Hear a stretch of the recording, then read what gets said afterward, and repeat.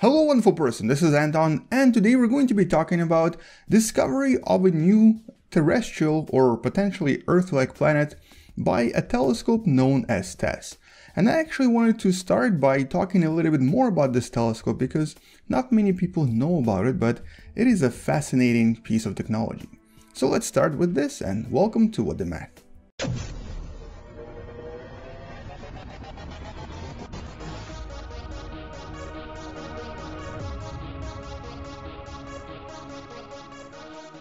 So this right here is TESS. As you can see, this is actually um, a brand new telescope that was launched only last year. And what's really interesting about it is that it was launched on top of SpaceX.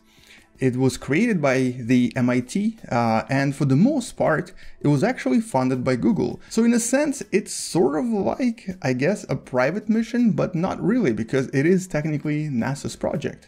And the word TESS stands for Transiting Exoplanet Survey Satellite. It's essentially kind of like Kepler telescope that discovered um, thousands and thousands of planets, but slightly more advanced because it's going to be able to cover much larger area. And in order to do so, it needs a very special orbit, which is what you can see right here on the screen. The purple orbit is the orbit of uh, TESS telescope, the green orbit is the orbit of the moon. So its orbit is actually perpendicular to the moon's orbit, and in a sense has a very stable uh, resonance with it. I think it's better if I actually demonstrate this to you using Universe Sandbox so you can see the orbit uh, by yourself. So here is the moon, there is Earth, and the way that TESS orbits uh, this region kind of looks like this. So here we go. This is TESS, this is the moon. It has an inclination of about 37 degrees and it comes relatively close to Earth, as a matter of fact, it actually um, comes approximately 100,000 um, kilometers away from Earth, but then it moves um, as far as the Moon. And it has a resonance of about 2 to 1 with the Moon, meaning that for every single orbit of the Moon, it has two orbits of its own. And because of the stability, it uh, doesn't really get influenced by the Moon, although um, in my simulation it does, because apparently I didn't really place it in the right region of space. Uh, as you can see, Moon can actually potentially influence it quite dramatically. And the way that this telescope functions is by um, moving across the skies right here, um, away from everything, away from the Van Allen's belt, away from most of the interference from Earth.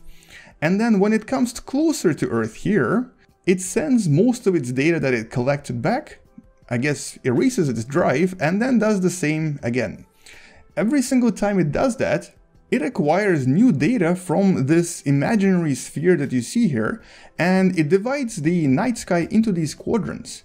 And eventually it's going to cover all of these quadrants, forming an image that sort of looks like this. And uh, there will be some gaps here and there, but it will be able to cover uh, pretty much most of the night skies and collect data from the entire night skies that we see.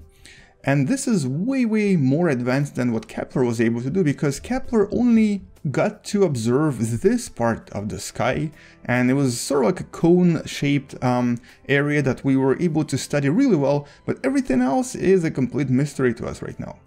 And so this is where the uh, TESS telescope is going to be able to cover this whole sphere around our sun uh, at a distance of approximately maybe 300 or so light years. It's not going to be as long as the Kepler's uh, cone, but it's going to be much more thorough.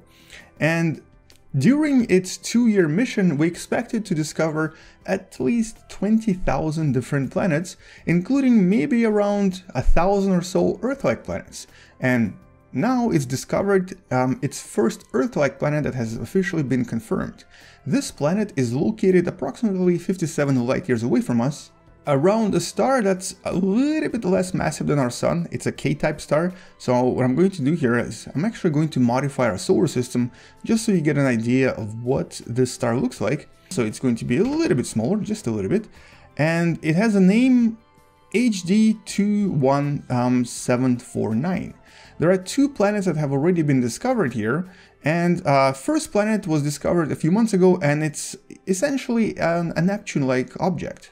It has a mass of about 23 masses of Earth, so it is in a sense very similar to Neptune, a little bit more massive, and um, it's much, much closer to the star itself, because a single orbit here takes approximately 35 days. It's way, way, way, way, way closer to the main star. So there's our new Neptune, um, and this is a planet known as HD 21479b. We're going to wait a little bit just to see how it changes over time. Now, the new planet that was just confirmed only a few days ago from when I'm making this video is even closer to the star than this object, but it's actually sort of Earth-like. It's approximately 90% the radius of Earth, we don't really know its mass, and it's going to be really hard to find out what its mass is. But what we do know is that um, it orbits really close to its star. It takes about 8 days to orbit once. And so this planet is probably really, really hot and it's very likely that it's even hotter than Venus. So here the temperatures are going to be over 400, 500 degrees Celsius, and um, it's most likely just a scorched terrestrial object, just like you see right here, although it's possible that it's some sort of a poofy planet as well, filled with atmosphere and a lot of evaporation.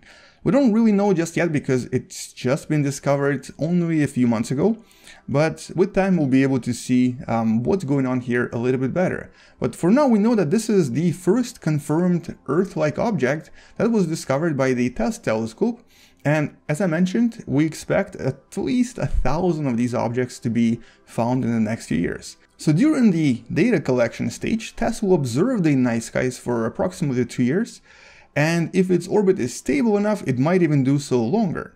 And after that, all of this data will be analyzed quite thoroughly by teams of scientists. Now here's the cool thing about this mission.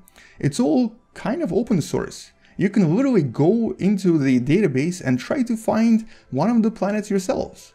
Now, I'm not going to say that it's easy. As a matter of fact, um, it's relatively challenging and somewhat complicated, but the data itself is available in the link in the description, and um, it's accessible to everyone who wants to access it. And as a matter of fact, um, a lot of citizen scientists have been discovering planets just like this. They were going to various databases and just trying to find planets by looking through data and developing various somewhat challenging algorithms that would sift through data and try to discover some kind of a pattern, usually a planet. But for now, TESS is going to be focusing on three types of stars. K-type stars, that's the one that we just looked at, M-type stars, which are um, red dwarfs, and of course G-type stars, which are sun-like.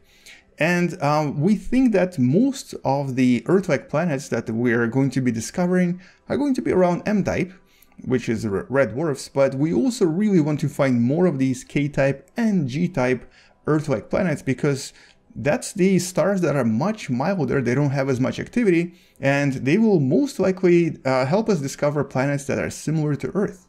Or at least we hope so. So in the next few years we'll be able to hopefully discover this. And by the way, um, when you actually count the number of stars that Kepler is going to be studying, it's sort of overwhelming. It's going to be looking at 500,000 stars at least, including 1,000 red dwarfs very, very close to our solar system.